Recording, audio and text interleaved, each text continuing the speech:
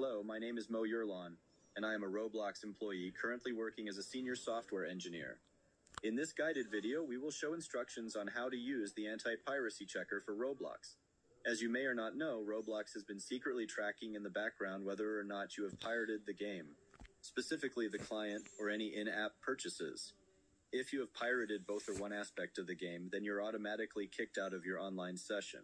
thus leading to where you are now. If you eventually have all of the checks failed, your Roblox account will get terminated, and the device that you have pirated Roblox on will get reported to the company it came from,